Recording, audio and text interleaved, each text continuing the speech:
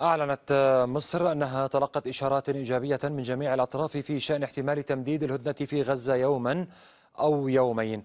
وقال ضياء رشوان رئيس الهيئة العامة للاستعلامات في بيان أن مصر تجري محادثات مكثفة مع كل الأطراف للتوصل إلى اتفاق لتمديد الهدنة بين الجانبين الإسرائيلي والفلسطيني لمدة يوم أو يومين إضافيين بما يعني الإفراج عن مزيد من المحتجزين في غزة والأسرى الفلسطينيين في السجون الإسرائيلية.